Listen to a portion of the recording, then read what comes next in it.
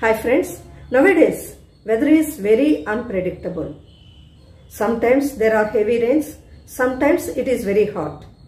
We are not able, whether it is summer season or winter season or rainy season. That is the situation we are placed in now. Normally, we consider that all aspects in nature are aspects of God. So we have to pacify them. We have to make them happy. So for that, see friends, some people talk very harshly and they think that they are very straightforward and telling very frankly. The same matter may be told by some other else in different way, in a polite way.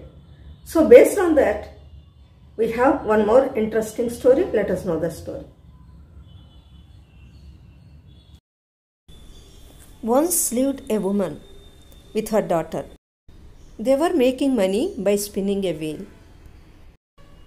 One day, a woman was sitting under the shade of a tree and was spinning the wheel.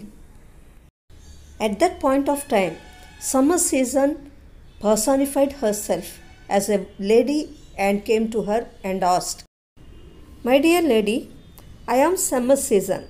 What is your opinion about me? Oh, you are summer season. Horrible you are. We can't bear the intensity of your heatness. Our bodies sweat frequently. That is why I always sit under the shade of the tree and spin my wheel. Summer season left the place angrily. Then came rainy season, personified herself as a lady. Hi, my dear. I am rainy season. What is your opinion about me? Oh, you are rainy season. What can I tell about you? You are such a horrible season. You are causing many hindrances and preventing us from doing our work. Even our clothes never dry up. Rainy season also left the place angrily. Then came winter season as a lady and asked the same question to the woman. Oh, you're winter season. We constantly get diseases because of you. All three seasons were annoyed with the lady and cursed her and turned her into a stone. Then her daughter Mrudula had taken up the job. She was making thread out of cotton. Then came summer season, dressed herself as a lady, and asked, My dear girl, I am summer season. What is your opinion about me? Then the girl said, Oh, you are summer season. I like you very much. Is it not because of you we are enjoying the taste of mangoes? Is it not because of you we are wearing jasmine flowers?